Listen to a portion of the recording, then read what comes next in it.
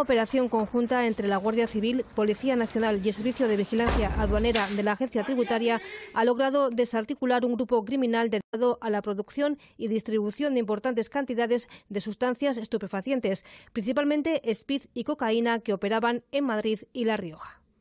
Estamos ante pues el mayor golpe del año en, este tipo de sustancias estupefacientes, sobre todo aquí en lo que es La Rioja y en el norte de España. Esta droga de gran pureza, una vez adulterada, se podían haber convertido casi en 450.000 dosis que rondan los 5 millones de euros.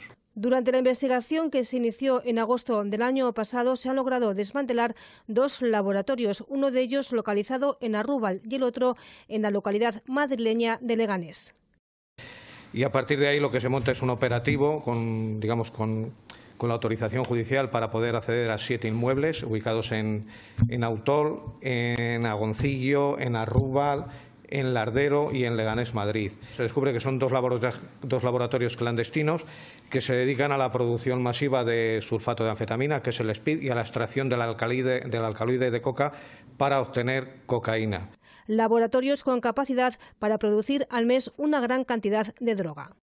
Este grupo criminal eh, llegaba a mover mensualmente 150 kilos de droga al mes. Que hay que diferenciar. Estamos hablando de laboratorio, no cocina.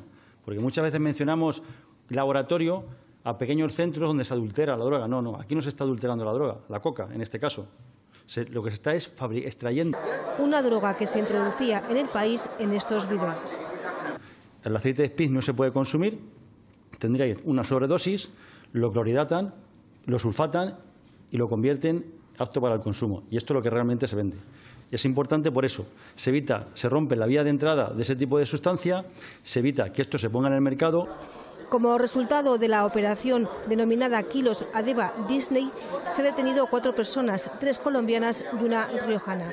Esta última encargada de cocinar la droga. Tres de ellos se encuentran actualmente en prisión.